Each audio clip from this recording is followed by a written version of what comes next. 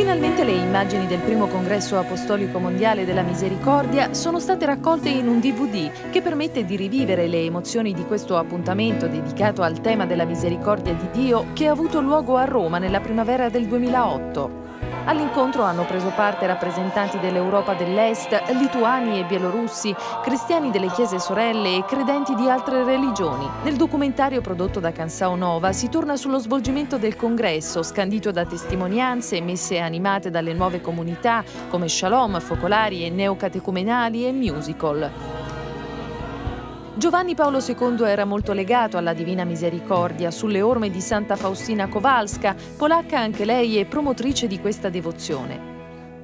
Durante la messa finale nella Basilica di San Pietro, il cardinale Christoph Schomborn ha raccolto il frutto di questo congresso, ricordando le parole di Benedetto XVI, la misericordia è il nome stesso di Dio.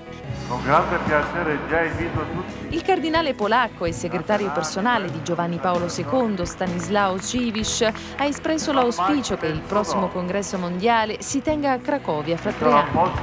Alla casa del Signore per tutti.